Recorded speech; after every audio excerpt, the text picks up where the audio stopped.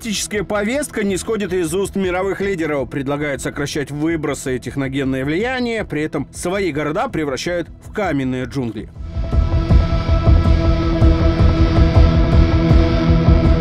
Пока многие говорят об экологии, белорусы создают благоприятную среду. Тон задает Александр Лукашенко. В Минске похорошел очередной анклав природы. Парк с историческим бэкграундом в честь 50-летия октябрьских событий приобрел современный вид. Пройтись и оценить пригласили главу государства.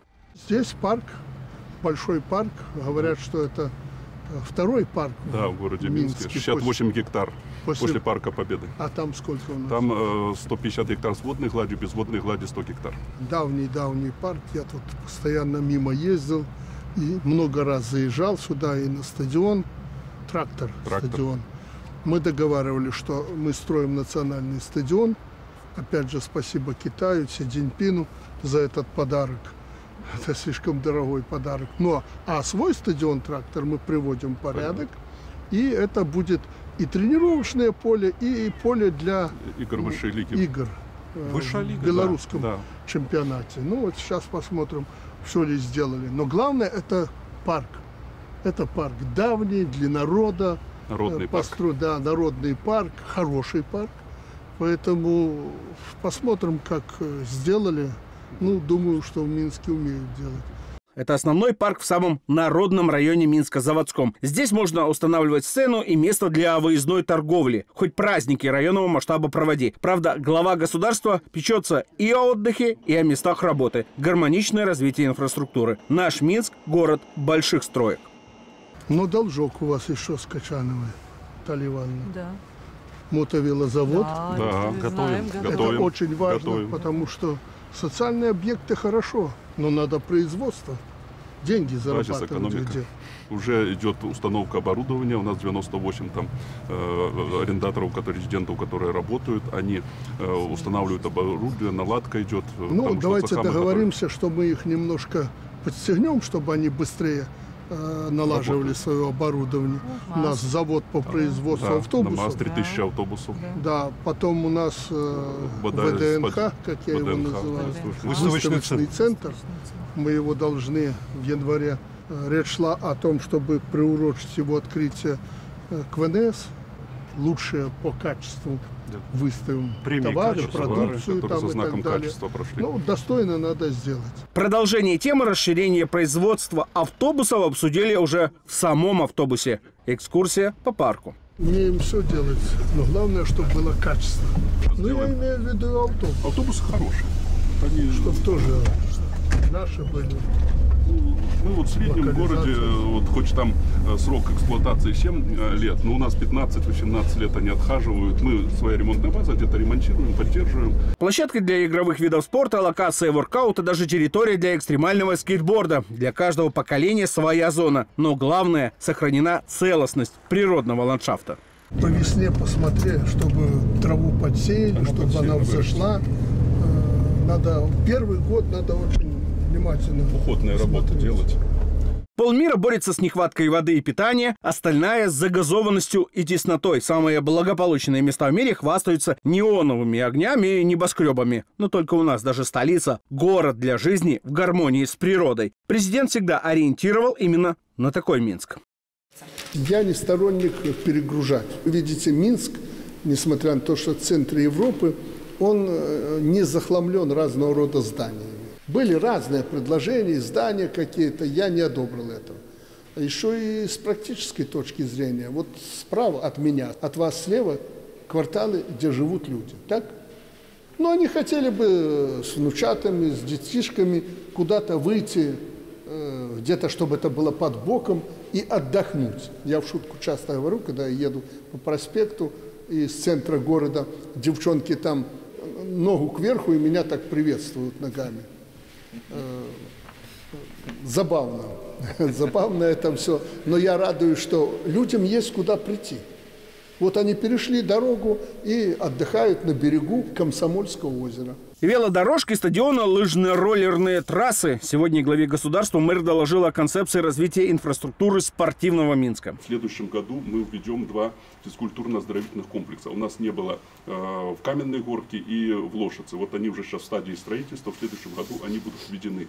Бассейн 25 метров и тренажерные залы. То есть люди могут прийти и позаниматься. Также у нас сейчас идет реконструкция спорткомплекса «Динамо» на Даумана. Работы уже ведутся, и в следующем году мы уведем в эксплуатацию легкоатлетический зал, э, зал для игровых видов спорта и гимнастики. В принципе, ради прибыли можно разделить на участки и застроить всю столицу, в которую стремятся переехать и россияне, и европейцы. Но наши власти создают гармоничную среду обитания. Последних два года было э, полностью завершено э, строительство трех парков. Это парк Уга Чавеса, Каменная горка. Там людям ну, фактически э, вообще не было зеленой зоны. Мы сделали э, парк. В этом парке все создано для того, чтобы люди могли отдыхать. И в следующем году там одна очередь осталась, спортивное ядро. Мы сделаем э, там э, для футбола, мини-футбола, для волейбола, баскетбола вот такие площадки. Мы весной начнем и в следующем году это завершим. Также парк имени Михаила Яковлевича Павлова, тоже мы завершили благоустройство, там тоже большой микрорайон в Московском районе, э, здесь возле студенческой деревни, тоже созданы все условия для отдыха людей. И Яблоневый сквер, это возле Першего национального, вот то, что я вам докладывал, э, тоже сделано там полностью, полностью, полностью там завершено, и э, там уже люди отдыхают. Ну, это чтобы люди понимали, там разные предлагали варианты, построить и застроить. И, если честно, я так и не смог до сих пор определиться, что там. И тогда мы договорились с тобой, сделаем место отдыха. Такой путь выбрал Александр Лукашенко. Беларусь – страна, где природные оазисы благоустраивают для всех, а не для закрытых территорий для игры в гольф. Это стоит недешево, как и создание и поддержание спортивной инфраструктуры. Мы рады вас приветствовать в нашем... Это хорошо, но мы ждем. Тренировочный процесс, ребята. Покажите свое мастерство. Да, тут они покажут. А На мировой арене будем стараться, Александр Григорьевич. надо, слушайте, э, гимнастика это же наш вид спорта. Традиции хорошие, но нам нужны. Победы. да, результаты сейчас нужны. Мы будем надеяться на это, молодежь. Работаем, да. Перспективно. Передача вас на команду сборной. Есть тренер, будет результат. Нет результата не будет. Из дюшор Олимпийского резерва по спортивной гимнастике и акробатике и стадион «Трактор» – советское наследие. Но в такой эффективный вид привели сейчас. Как говорится, результаты бы дотягивали до инфраструктуры. Вот только тебе претензии предъявляли. Готов выслушать. Тренерской работы нет и все. Нет физической подготовки у ребят. Ну, Мальчики, к сожалению, стоят девочки у нас, Надежда. Вот это, Мне уже про девочек рассказал. скажу так, 6 месяцев должности, работаем. Ну, скажу, ну, девочки, они во всем виде спорта, во всех видах спорта. Но это не та Ну, команда, которую мы обыгрывали в свое время. Лет 15 назад мы играли со сборной Беларуси женской. Э, Я играл и бывшие динамовцы, но любители. Мы у них выиграли. И я тогда честно забил два мяча. Ну, это у нас самый титулованный на сегодняшний день. Сегодня президент вышел на поле, на этот раз футбольное, и во время откровенного разговора вспомнил про то, на каком ему приходилось играть и почему мяч сменил на клюшку. Десятый номер мне дали.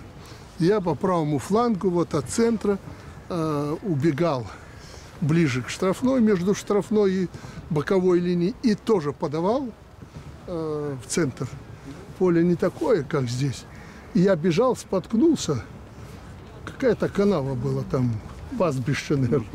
И я упал на левое колено на большой скорости. Ну, меня сразу и вынесли за ворота. А на завтра туда-сюда, никто меня там не лечил.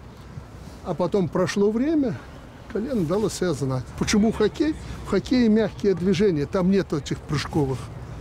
Э, Ну, правда, на таком поле это не так страшно. А мы играли, ну ты ж помнишь, какие Сейчас, сейчас условия, конечно, лучше. Несравненно лучше. Спорт в принципе и сама Беларусь в целом становится все привлекательнее для жизни людей из разных уголков мира. Чем больше узнают о нас, тем больше стремятся попасть в нашу страну. Но позиция первого надо обходиться без легионеров. Надо воспитывать своих чемпионов. Ты хочешь, чтобы я тебе расписался на мяч? Да, да. Вот у нас через недельку важный матч очень. Вы Мы выиграете? Играем, конечно, выиграем, если вы. Спасибо большое. А еще по просьбе девчонок, можно общую фотографию сделать с вами? Ну, давайте. Спасибо.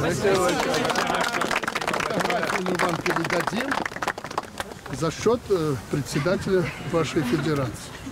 У него все есть. И деньги, и форма, и желание.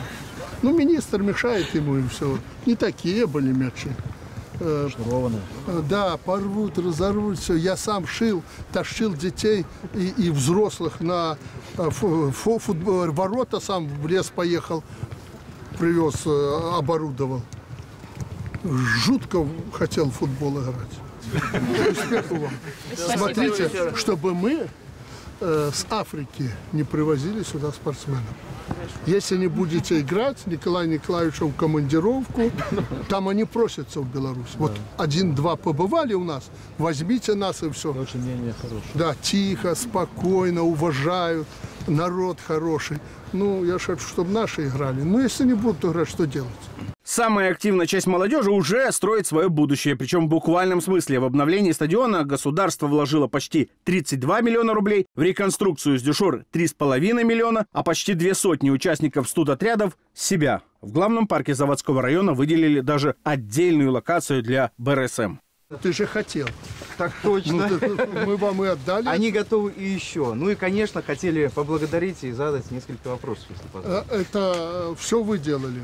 Ну не все, демонтаж со специалистами. Сначала сиденья разбирали, плитку ложили. Правильно. И даже в проектных работах участвовали с БНТУ. Молодцы, все правильно.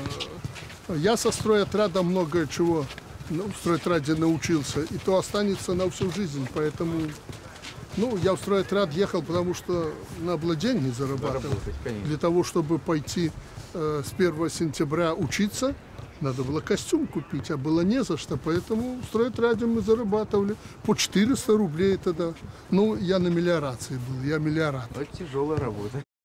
Всегда рядом с президентом молодежь. Сегодня это не только фигурально. Харизма опытного политика и в раз улетучивается зависимость от гаджетов и равнодушие конформизма. Этим сейчас заражена вся молодежь самых продвинутых стран мира. Но только у белорусов самого активного возраста есть живой диалог с президентом.